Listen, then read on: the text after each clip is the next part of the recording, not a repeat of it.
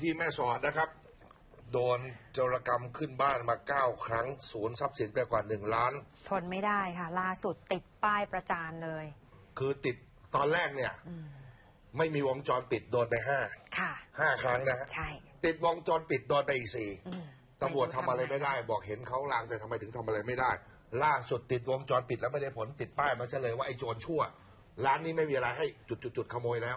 หัดทำหมาหากินเองบ้าง นี่ร้านของคุณอันชิตถาบุญปานค่ะ ร้านอันอันจำหน่ายอุปกรณ์ชงชา แล้วก็ปั่นชากาแฟทั้งร้อนทั้งเย็นนะคะ ก็เรียกว่ามีชื่อเสียงอะของแม่สอด ติดป้ายประนามอย่างที่บอกนี่เลยค่ะ ตัวคุณอันชิสาบอกไม่เหลืออะไรจะให้โจรกรรมอีกแล้ว แล้วก็ขอร้องเรียนต่อสื่อมวลชนด้วย มันที่ผ่านมาโดนเข้าไปเนี่ยเก้าครั้ง รู้มีกล้องวงจรปิดบังกล้องด้วย เออเอา ผ้าขนหนูคลุมหน้าตัวเองไว้โอ้โหทรัพย์สินที่เธอต้องสูญหายไปเนี่ยคุณอัญชิสาคุณอัญชิตถาบอกว่าเป็นล้านทองรูปประพันธ์พระเลี่ยมทอง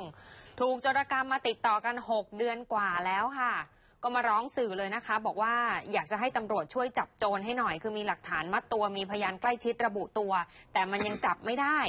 หกเจ็ดเดือนที่ผ่านมาก่อนหน้าจะติดวงจรปิดเนี่ยมาประมาณ5ครั้งที่ถูกโจรกรรมไป ติดวงจรปิดก็โดนไปอีก4ค่ะ เคาะเนี่ยไม้อย่างนี้แล้วก็เอาผ้ามาปิดวงจรปิดอะน้องไบร์ทจะทำยังไงกับเขาอะ เออ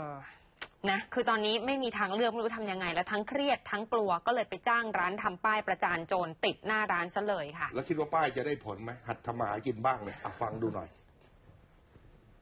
ถ้านับแล้วน่าจะเป็นครั้งที่เก้าครั้งที่เก้าแล้ว พี่ดูที่ดูหนูต้องขังตัวเองไหมอะต้องมาทำประตูเนี่ยน้องเขยมาทำบ้านบ้านต้องเปิดออกอะขังตัวเองหมดเลยอะเนี่ยต้องทำสองชั้ นสามชั้นเลยไอ้เคยไปเช็คในห้องแล้วอะเข้าไปเอาห้องเนี่ยถึงตัวแล้วอะอ๋ออันนั้นมันออกเอาไปเจ็ดวันอ่าน้องไบร์ทจะโดนอีกไหมเออขอให้ไม่โดนนะฮะ เห็นใจจริงๆนะคืออยากให้ตำรวจจับกุมอะ ว่างั้นเถอะอืมจับเถอะค่ะเจ็ดนาฬิกาห้าสิบเอ็ดนาทีเรื่องเล่าเช้านี้เดี๋ยวกลับมาครับ